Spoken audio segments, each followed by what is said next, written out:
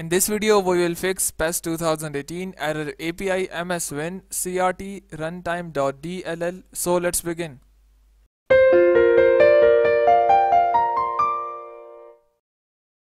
To solve API MS runtime.dll error for different softwares including Microsoft Office, Photoshop, Python, Kodi and many other softwares that are producing the error you have to just go and install a single piece of software that is for Visual Studio C++ redistributable for Visual Studio 2015 so this is a software. I will provide the link in the description. You can just go and click on it and you will be redirected on this page. I will also provide the links for download for 32-bit and 64-bit so we can proceed uh, proceed from here. Just go and click on download and you can just go and uh, download your respective version. It is for 64-bit this is for 32-bit you can just go and mark tick and click on next.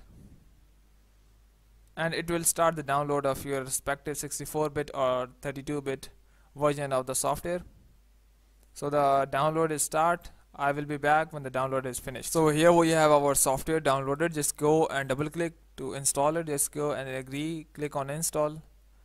Allow the permissions. And here it is. Now go and open your software you might need to restart your Windows first.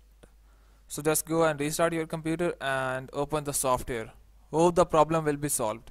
If you still have an issue you can comment below. I will try to answer that. But before you go please subscribe like and share. Thank you